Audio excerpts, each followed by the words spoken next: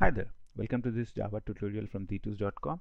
In this tutorial, let's look at an important collection called hash set. So we'll look at what is hash set and what are the different uh, important things that you need to remember about a hash set. So uh, hash set is a collection. So that's basically the interface, base interface that uh, all most of the collection or uh, like classes implement. Uh, it, it's a collection.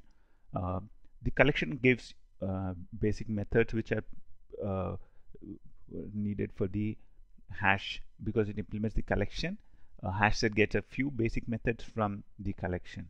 Uh, a collection is usually used to store a group of values. So I can add a value, remove a value, add a list of values, remove a list of values, and those kind of stuff.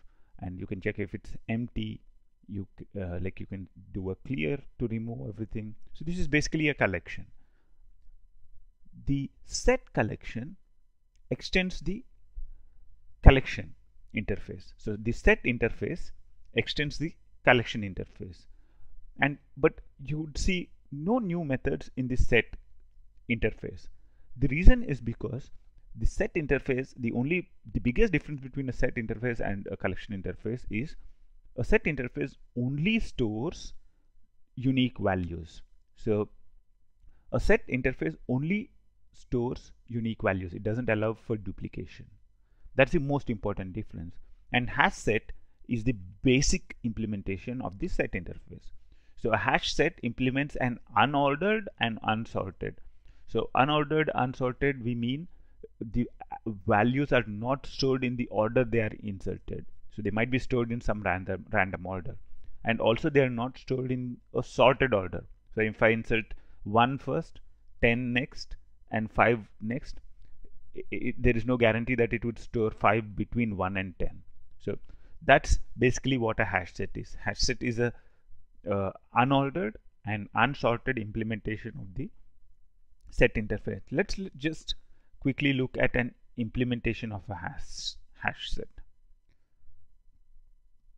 So i'm using uh, this is how we can create a new hash set. So i'm doing a hash set using a string. So in the set, I'm going to store string values. That's why I'm saying new hash set of string. I'm creating a new hash set of string and storing it in the set interface. The reason why I'm using a set interface and not the hash set is because then I can change it from hash set to any other uh, uh, thing easily.